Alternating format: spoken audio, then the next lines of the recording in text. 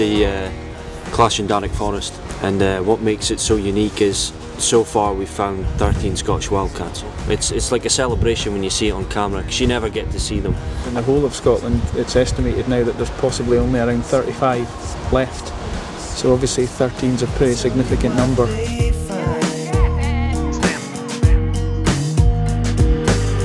Suspicious eyes will only make you see your satellites At the moment in here, we think one of the, the main threats to them is probably forest harvesting, that by chopping down the trees, forcing them to move, if, if nothing else, which again, you know, that could bring them closer to roads, bring them closer to feral cat populations and, and people which could in turn lead to more hybridisation. So this is uh, Forestry Commission or Forest Enterprise Scotland um, that, that own this one. I've personally showed the uh, Forestry Commission four wildcats. They're well aware of the situation in the Clashindarroch.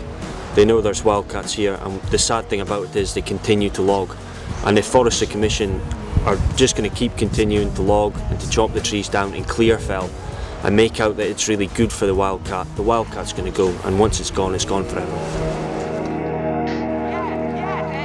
I seem beginning to understand. How'd you feel?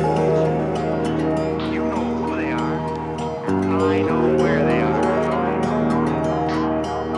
How'd you feel?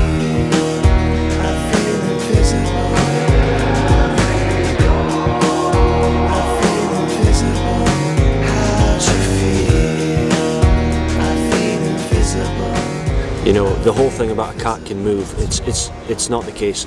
They've got territorial boundaries and they won't just move. That's, that's the issue. How'd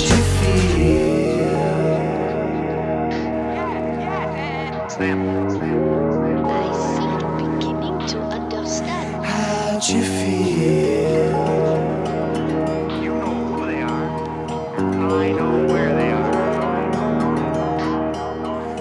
I mean, the Clashindarroch Forest holds 13 wildcats that we're aware of, a third of the world population. And it's absolutely vital that the, the clear felling stops. If this, if this does go, I think the wildcat's doomed for the future. I think this is that important. It needs to be saved. There's, there's plenty other places they can go and log in. It's kind of sad, if, you know, if we if we're the ones on watch when when we lose them. It's uh, that's kind of heartbreaking, really.